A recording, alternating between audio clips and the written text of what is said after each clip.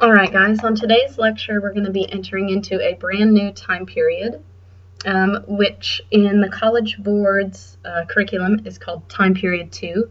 Um, you'll also hear it called the Classical Period, um, or the Iron Age, and over the course of this time period throughout our learning targets we're going to be focusing on uh, several really large empires. The empires that we're going to focus on in the coming weeks are uh, Persia, and Greece, which we'll talk about today. We'll also discuss Rome, uh, the Han Dynasty in China, and the Maurya and the Gupta uh, empires of India.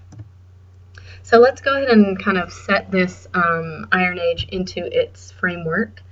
Um, again, this is AP World Time Period 2, and the dates for this time period run from 600 BCE to 600 CE.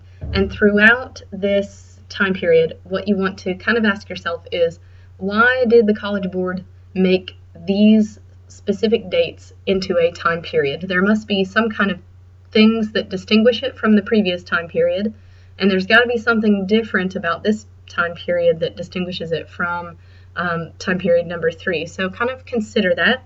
Um, one of the big things that I think distinguishes this time period is the advent of iron. Iron metallurgy begins a really long time ago, about 1500 BCE, with a group called the Hittites. They were actually way back on your um, time period one. Um, they were way back on your time period one um, targets, and uh, if you go back, you can see them. They're in, um, I think it is 1.32b, and that target is actually about the Hittites. So what iron allows you to do is basically be more coercive than groups that were using bronze. Um, and what happened was, through the use of iron metallurgy, empires are going to become um, much larger and more coercive.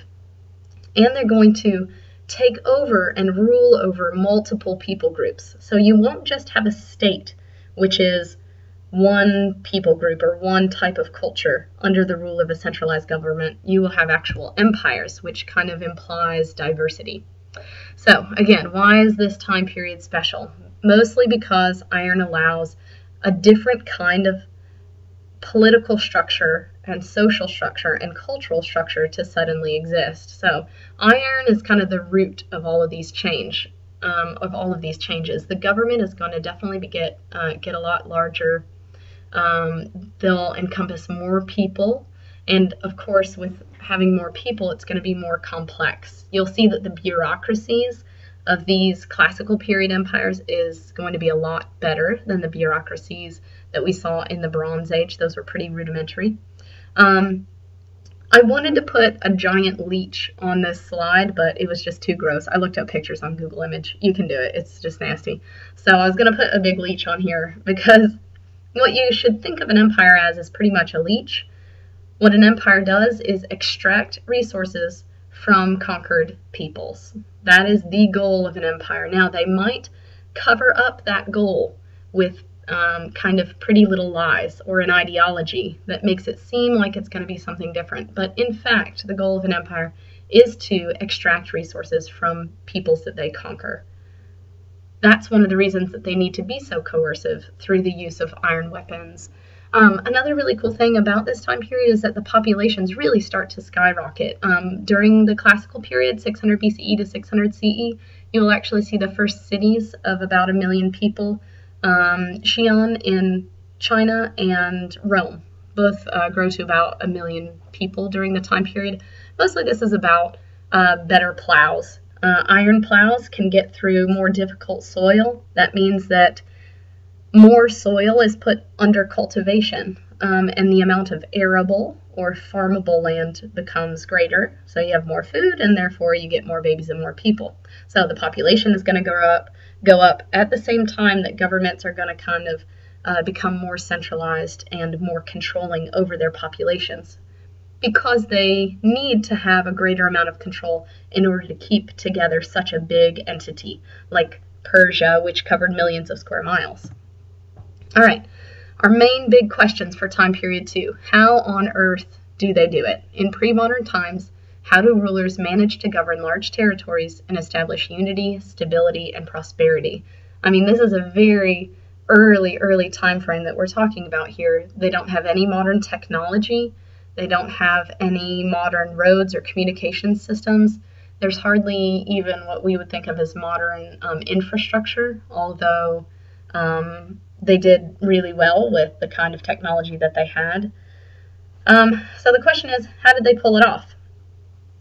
We also want to know how do empires operate politically and socially? So, for example, um, what methods of control do different empires use to politically keep a handle on their people? Socially, what does the hierarchy look like? How do you move up or down within it? Is it possible to move up or down within it? How does religion justify a social hierarchy? We also want to look at what kinds of cultural characteristics are seen in empires. The College Board is especially interested in making sure that you think about the ways that elites especially rulers, use art and culture to promote centralization of their own political power or rule. Um, and then we want to think lastly about um, trade and religion during this time period. What changes occur within religion? And we're going to kind of see a continuation of what we saw with Hinduism. If you'll recall, Hinduism goes from being focused on impersonal gods um, for whom you have to do rituals, and it starts to focus on big questions and a more personal relationship with the gods. That's going to be a big change in religion. And we're also going to look at trade because the amount of connectedness between these empires really uh, ratchets up during this time period. We go from tiny connections, say between Mesopotamia and the Indus River Valley, to huge uh, thousand, you know, connections over thousands of miles technically uh, between areas like Rome and Han China, although they were not directly connected. They were connected via intermediaries across huge uh, expanses of land. All right, our first empire that we're going to be discussing is Persia. This is a map of Persia in around 500 BCE, and um, I want you to focus on a couple of different things. First of all, uh, Persia has taken over um, Egypt and the very fertile Nile Valley, all the way down into what was at one point Nubia. So, this is a very fertile area. A lot of uh, grain comes out of it, and capturing Egypt is a great prize for any empire, really, right up until the modern period because it's so productive agriculturally. Um, let's see, over in the east, here's the Indus River. Persia extends all the way to the Indus River and it extends up here into what is today Central Asia. This area um, called Bactria um, is um, known for being pretty arid. A lot of pastoralists kind of live up in this area. Here's Mesopotamia. Persia had conquered the ancient, most ancient region of civilization. And then over here, uh, the Anatolian Peninsula. They conquered that, and a lot of these little islands right here along the coast. And I want to point this out because right here is modern Greece. And ancient Greek civilization is actually focused on this peninsula down here uh, called the Peloponnesian Peninsula. And there's going to be some conflict between this tiny area full of city states and this huge monster empire. Um, again, they have the same problem that every single classical period empire has, which is how on earth do I unify, rule, and centralize my control of this huge expanse of land. Um, Persia is going to use a, dot, a lot of different methods of unification, and I want you to put a star beside um, this portion of your notes, and I want you to note on your paper in pen. I've noticed that some of you aren't writing the notes out to the side that I'm asking of you, so make sure that you do that, please. And out to the side of methods of unification, I'd like you to note that many of these methods are common to all of the empires. Many of these methods are common to all of the empires. Persia is not the only one who's going to struggle with the issue of how to keep together their empire. So these big ideas about how to um, unify are going to be used pretty much by everybody. The first idea is to use a common religion. Sometimes you'll hear this called a common ideology. You need to um, make sure that your people kind of are thinking along the same lines as you, the centralized government. Now, in Persia, the common religion and ideology is monotheistic Zoroastrianism. We talked about that last week. Um, Persia encourages conversion to Zoroastrianism, but it does not impose it. And um, just to give you a refresher, Zoroastrianism was a monotheistic religion that believes in this huge cosmic battle between Ahura Mazda, the good guy, and Ahriman, the evil guy. Um, the Shah, or the king of Persia, is sort of the representative on earth of the white hats, the good guys. Okay, and um, they have a lot of rituals. Strayer in the textbook talked about um, rituals having to do with fire, and those are still around um, in Zoroastrian uh, communities today. Now, what the Persians learned from this is that tolerating people's religions and cultural traditions is a good thing when you're trying to keep control of a huge expanse of land. A lot of empires are going to end up practicing toleration because it's easier than trying to impose one ideology on everyone and then making all the different people kind of hate the central government. Um, Persia is viewed by most populations that they conquer as uh, kind of a good guy because they let them continue, uh, they let all these diverse groups continue their religious practices, continue their marriage regulations, all that kind of stuff. Um, and that ends up being a really effective method of control. Uh, the second method to unify a large empire is having good communications, or at least as good as you could at the time. Royal roads are built. There was an illustration in your Strayer text of the royal roads that went from kind of north of the Persian Gulf all the way um, to the western end of Anatolia. And they were built to connect the empire, and this does two things. First, Persia was not averse to laying the smackdown on people. If you revolted, they wanted to be able to get to you so that they could smash your rebellion. They also um, were interested in promoting economic prosperity because usually when people are economically prosperous, they are happy because they have money and luxuries. Um, in this picture, I thought it was kind of a cool, uh, cool thing to show. We see two Persian magi, and uh, magi are um, Zoroastrian um, clergy, pretty much priests. And um, here in this photo, you can, or in this picture of a relief, a stone relief, you can see them with their um, mouths covered, and they're holding these little sticks. Um, I think it's fun because, of course, a lot of students know about the story of the three wise men or the three magi. They're actually Zoroastrians in the uh, biblical story. Okay.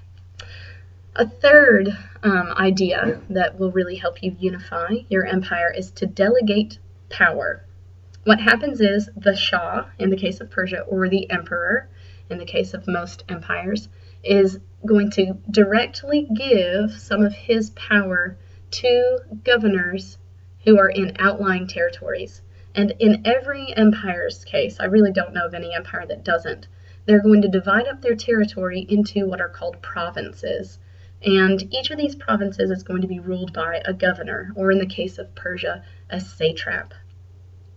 Royal roads had couriers, uh, little guys on horseback that would take imperial messages with a ton of speed all the way out to the satraps and um, they would return uh, messages from the satraps to the capital um, where the emperor had his court.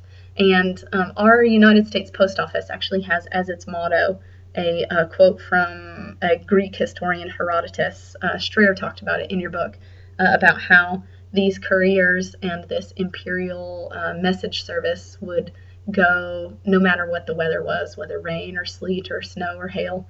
So all of these royal roads and these messengers really was able to were able to connect the satraps, the governors, with the capital and the emperor. The emperor also definitely displayed his power. Persepolis was the capital. There were these huge monumental structures. Um, I'll show you a picture of a ruins in just a second. And empires are going to also use their size to their advantage. And what I mean by this is they're going to do things that a large empire is able to do well that a small empire really isn't able to do. For example, a large empire can impose a unified coinage, and you can see on the right um, a Persian coin with some Zoroastrian uh, fire image on it. This makes trade a lot easier. It um, decreases barriers between different groups who are trying to make um, money transactions, and it definitely bolsters the economy, making again everybody happier. Empires are also going to make their taxation regular and in predictable amounts, meaning like Mrs. Booth would know every year in April I owe three bushels of grain. per acre of land that I have. And that ability to predictably say what my taxes would be and when is going to keep me a lot happier as a subject of that empire. They're going to pay their taxes because it's not arbitrary, it's not random. There aren't people coming to my house in the middle of the night trying to take my stuff for random taxes that I didn't know about. Um, all of that leads to stability and predictability, and all of that uh, leads to a really strong, stable, unified empire. So, again, use your size to your advantage, um, ensure stability, predictability, and your citizens will be happy. Here's Persepolis. I think you can kind of see there's a little pit, a person right there. You can kind of get an idea of the size. This is the audience hall of um, the king of Persia. And you can see, let's see, a person would probably be about up there uh, on on this main wall. So it's a really intimidating structure. And the interesting thing about this is that it actually mixes a lot of the different architectural styles of the areas that Persia had conquered. Their art uh, looks a lot like Mesopotamian art, but these arches look a lot like stuff from Egypt. So per- Persia was good at incorporating the culture of their uh, of the people that they were conquering which made them, again, a lot more unified and stable because they were able to be tolerant. All right, you can also um, create an ideology of kingship. Everybody does this. We saw this from way back in the Bronze Age. The Shah is the representative of uh, the gods on earth, or God on earth in the case of Persia. Um, and last but not least, try to keep your people happy. This is a point to star. So on number seven, the first bullet, Please star this technology. The qanat system is a specific piece of curriculum that the College Board um, wants you to know. They're just underground irrigation canals. Uh, it decreases water evaporation, which means that your fields won't get uh, salty as quickly. If you don't have as much evaporation, um, the water's not leaving behind so many uh, salty minerals, and then over time, you don't get a salinized field. So A qanat is a really, really awesome invention. Um, when Muslim conquerors come out of the Arabian Peninsula in the uh, 700s and conquer Persia, they're actually going to adopt a qanat system and spread it throughout their empire. So it's going to be widely adopted. Uh, anytime you've got more food, you've got more happy people. That's a good thing. And they're also going to keep people happy by incorporating elites that they had conquered into their bureaucracy and into their elites. So Persia worked hard to um, basically assimilate the elite populations, aka make the elite populations a part of the Persian uh, social hierarchy, which kept them happy. All right, Strayer also talked in the reading that you did recently about the Greek city states. These were small, they were not united, they competed with each other 24 7. Now, they did have some cultural unity through their religion, language, and some fun uh, competitions, athletic competitions called the Olympics, which actually began in the 700s BCE. Greeks uh, mostly focused their economic um, energies on sea based trade. Uh, if you'll remember from the summer reading on wine, we learned that the Greeks um, spread their wine and vineyards and wine culture throughout the Mediterranean. One of the reasons they did this is because their land was so marginal. They really didn't have good farmland, so they needed to find a different way to make money. They grew grapes, exported wine, and actually imported um, grain back into the Greek city states. Um, the Greeks had a really interesting political system centered around something called the polis, or the city state. Pretty much, if you were a guy and you were born in Athens or any other city state, you would be considered a citizen as long as you had not been born a slave or a woman, heaven forbid. So, citizens had both responsibilities, for example, to serve as a hoplite in the military, and also rights within the community. For example, the ability to get together in the public forums and have debates and vote. Um, they were not considered subjects of a king in the way that Persian uh, subjects were considered um, subject to the will of the Shah. Now, it is extremely important to note, and I want you to star the second bullet under Greek politics. Please star it. Not everyone was equal. women had very few rights. According to the writings of Aristotle, women are actually partially formed men. So the Greeks have very low opinion of women. Um, although in Sparta it was slightly better. Although Sparta had a uh, Sparta, the city-state, had a group of conquered peoples uh, in the land that they had uh, conquered and ruled over called Helots, who basically lived their lives as agricultural slaves, which allowed the Spartans to train militarily pretty much 24 7. Um, even in Athens, which most um, Westerners, meaning Europeans and Americans, Canadians, um, most Westerners consider Athens kind of the home of democracy, but even in Athens, only about maybe a third or a half of the population is even considered citizens or eligible to have um, any participation at all. And that's the maximum amount. Um, I think a third is a little bit of a better um, estimate. Most leaders, and as well, most of the high ranking people are going to be men of wealth. However, um, it is unique to have the concept of a citizen, a person with rights and responsibilities within the state, to be voting and eligible to serve. And the amount of um, people and ability to serve and have a participating say in the government really increases throughout the 400s BCE when um, when uh, Athens and the other city states are fighting in the Persian Wars. Basically, the men who fight as hoplites against the Persians in the 490s and 480s push to have more rights. They're saying um, if we are allowed to fight, then we should be allowed to have a voice in our government. It's really similar to um, what happened um, right after the Vietnam War in the United States. Uh, the voting age was lowered to 18 because that was the same age as, as the draft. So you can kind of see that um, once people are required to kind of do things for their state, they also would like to have a voice in their state. This is just an artist rendition of uh, what the Acropolis or the main hill surrounding Athens looked like uh, during the Golden Age, and we'll talk about that in just a second. So, back in the day, Persia was a big empire. The Greek city states were trading and doing their thing. I hope that you remember back on the map of Persia that Persia owned a lot of islands that bordered what uh, were the Greek city states. And what the Greeks attempted to do is increase their own influence, and they worked to help cities who were conquered by the Persians on that area that bordered Greece to throw off imperial rule by revolting.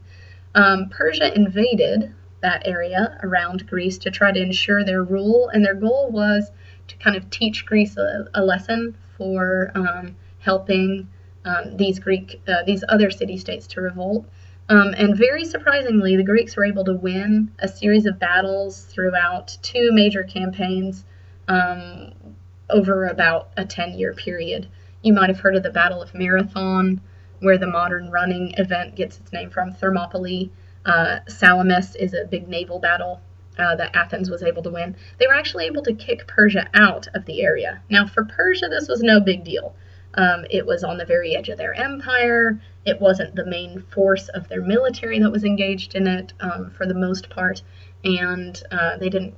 They weren't really worried about that. It wasn't like Greece was invading Persia and taking it over. However, the Greeks really were super excited about their victory. Um, and they write all kinds of different documents that talk about how they're fighting for their freedom.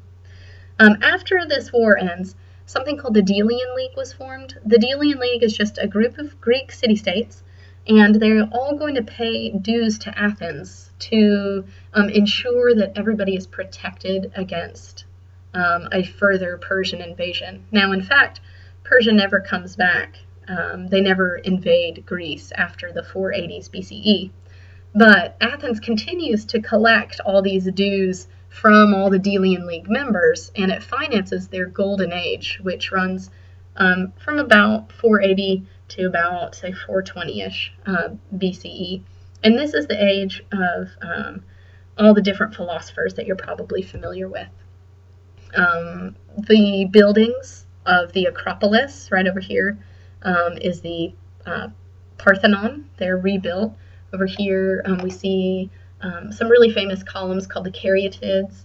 Uh, their um, artistic forms are fully developed by the Golden Age, and uh, right here we see a painting from the 1700s by a French artist named Jacques Louis David, but it's depicting uh, the, the death by drinking hemlock of this guy who's pointing up.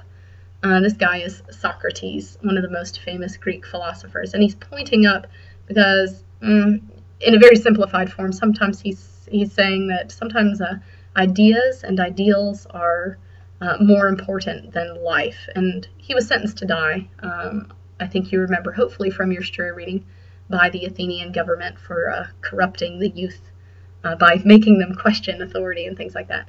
And uh, here he's getting ready to drink hemlock, and obviously his followers are very sad. All right. Greek Golden Age philosophy. This is extremely important. We need to know about Greek um, ways of thinking. The use of reason, logic, questioning, and debate is extremely important. The goal is to look at the world around you through observation, use your eyes.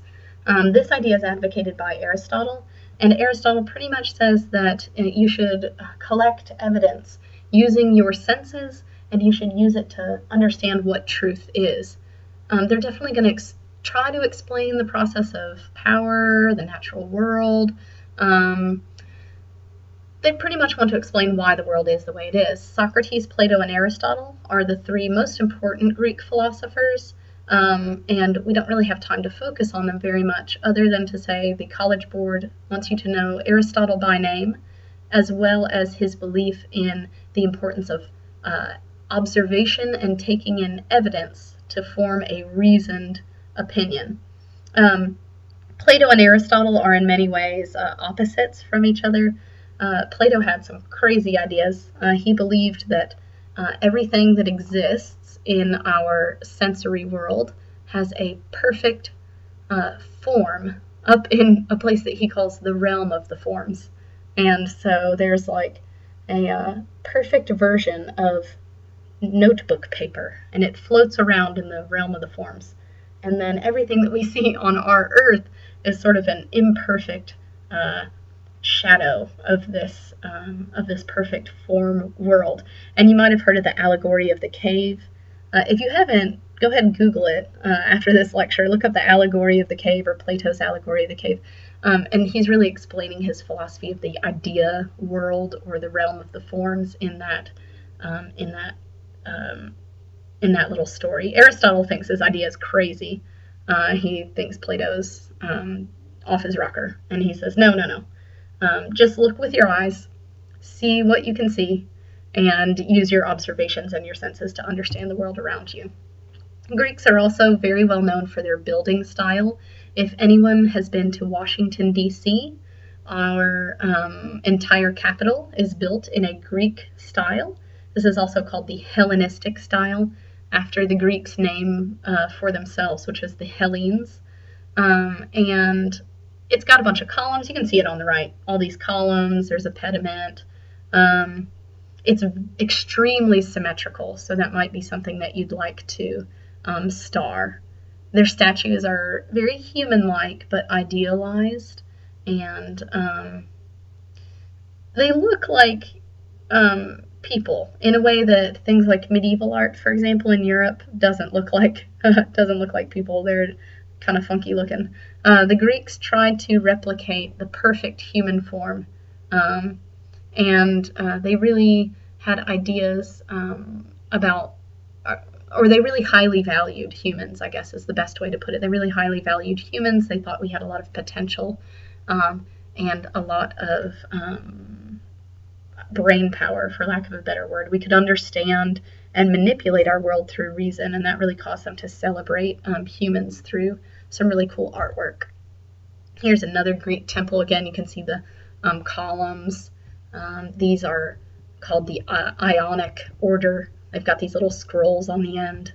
Um, they have always got a triangle on top. And again, it's ridiculously symmetrical. I can fold it in half and it's the same on one side as it is on the other. Greek theater um, this, you can see how big it is based on this. You can still go to some Greek theaters. There's still a few around, uh, either built by Greeks or Romans.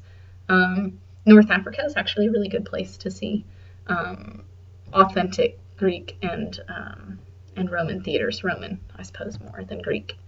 All right, last but not least, uh, Alexander the Great. So, um, if you'll recall, we were talking about the Delian League, how Athens collected dues from all of its members, and it um, said that it would use those dues to protect the Greeks from a further Persian invasion, which never came, and instead Athens used all that money to build all their fancy buildings and create their fancy artwork. Um, eventually, everybody in Greece got really mad, and there was a war called the Peloponnesian War between mainly Athens on one side and their allies, and Sparta on the other side with their allies. And they fought over who was going to kind of lead the Delian League, and Sparta wanted to break up the Delian League, and Athens said, no, we don't want you to, because, you know, they were taking money from everybody. It was great for them. Um, after a really long time, several decades, Athens and Sparta, along with their allies, really just beat each other to a pulp. Technically, Sparta wins, uh, but nobody really wins.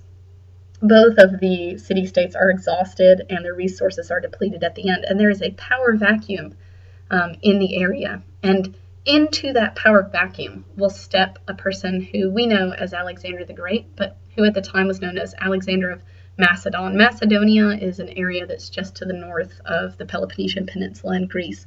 And you can see that by this time we are now in the 300s BCE. So we are outside of Athens' golden age. We are um, in the period following the Peloponnesian Wars between Athens and Sparta. And Alexander and, uh, the Great is going to take his Macedonian army down to the south, and he's going to conquer and unify the Greek city states, and then give them a vision of empire and he will take uh, his huge army and um, he will cross um, to Egypt, he'll cross to Mesopotamia, he will invade and conquer the Persian Empire, um, and he'll create an empire that goes from the Adriatic Sea, which is the sea in between um, Italy and Greece, all the way to the Indus River. So it's even bigger than Persia was. Now, Alexander the Great dies very young. He's in uh, his early 30s. Um, he didn't live a very healthy life. Uh, you can imagine he was probably a pretty um, manly kind of guy. Uh, but um, the legacy of what he did allows the spread of Greek culture, their architecture, their art forms, and the, the use of logic. This process is called Hellenization. You need to do something very exciting around that word Hellenization. It is a word that you'll need to remember all year. Um, it just means to adopt Greek like culture. Here's Alexander the Great's empire. You can see it covers even more territory by a little bit than Persia did. And here's some examples of Hellenization. These are all statues of the Buddha from areas around India, but the way that the Buddha is depicted is very naturalistic, and the drapery of the Buddha's clothes looks just like um, a Greek statue did uh, from the Greek Golden Age. So that is Hellenization in action. Even in India, uh, the artistic forms are influenced by Greeks because Alexander the Great's empire was so large and because it allowed the culture to spread, Greek culture to spread within it so easily. Um, Alexander the Great, of course, again, dies really young. Um, his empire splits up into four pieces, which you can see right there. Uh, the Ptolemies are the famous ones from Egypt. Um, like Cleopatra was actually a Greek, uh, a Ptolemy ruler of, of Greece.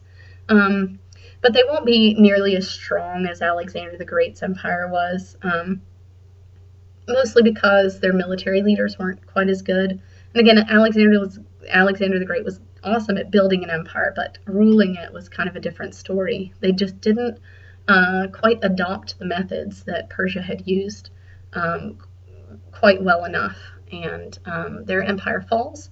Rome will eventually take advantage of that disunity and weakness, and it will conquer uh, most of Alexander the Great's empire by um, the period right before we get into the CEs, the 100s BCE. And then Rome will continue that process of Hellenizing the West, and that's why um, you'll see a lot of architecture in Rome is actually imitations of Greek architecture. So when you see a Roman temple with columns, it's just an imitation of Hellenized culture that um, they're trying to kind of imitate after they'd conquered the Greeks. Now, throughout, again, this Iron Age period, we're going to ask you to think about some really big questions. And part of that is to think about what stays the same and what changes. So think about the Bronze Age civilizations like Mesopotamia, um, Egypt, Shang Dynasty China. As we talk through this unit, think about what is different and what stays the same. I thought of a few ideas for you guys. Things like the use of coercion. You could argue that um, all of these civilizations and empires use coercion. But I think in the Iron Age, these um, empires are even better at coercing their subjects through the use of iron and increased centralization um, than they were before. Religion as a unifier um, or a justifying ideology is the same. However, religion becomes more focused, even more focused on answering big questions rather than just doing rituals to appease gods. Um, Bronze Age, this is a big difference. The Bronze Age civilizations were pretty uh, homogeneous. Their cultures and peoples were all similar to one another because they were not that big. Once you hit the Iron Age, empires are going to be huge and diverse, and they're going to have to use new methods like toleration and better bureaucracies to hold themselves together. All right, uh, that's it for today. Um, and um, if you have any questions, please bring them with you to class.